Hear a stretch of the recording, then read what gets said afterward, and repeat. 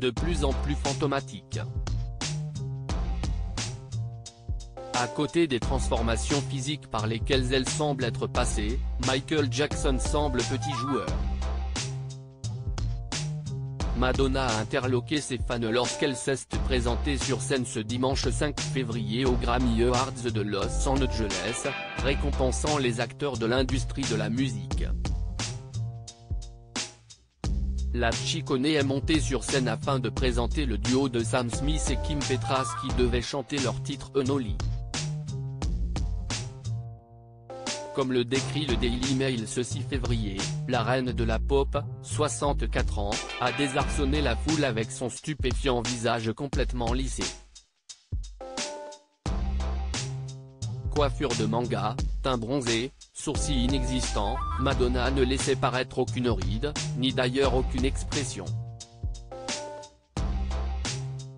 La presse parle d'un visage méconnaissable.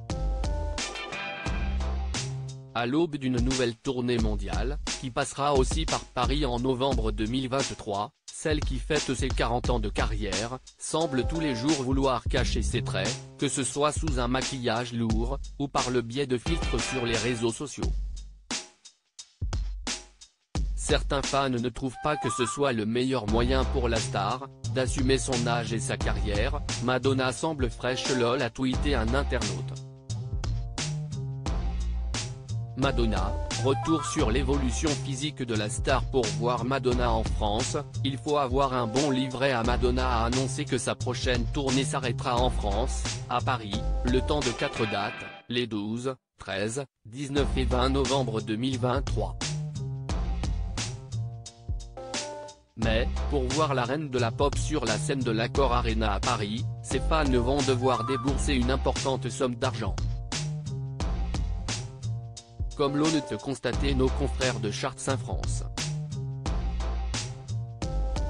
Net, les prix des places oscillent entre 45 euros et 386 euros. Le prix exorbitant pour ces deux concerts exceptionnels a évidemment fait réagir les fans de Madonna sur les réseaux sociaux.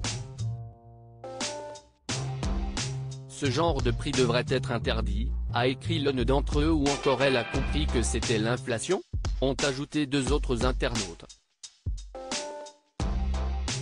Mais, les fans ne perdent pas pour autant leur sens de l'humour. Entre les messages drôles, se remplit de satisfaction d'avoir eu une place, et ceux d'abandon, l'un d'entre eux n'a pas hésité à interpeller un membre du gouvernement. Bonjour Bruno Le Maire, à quand le chèque inflation icône de la pop? Peut-on lire sur Twitter? Crédit photo, Kevin Mazer Getty Image for the Recording Academy.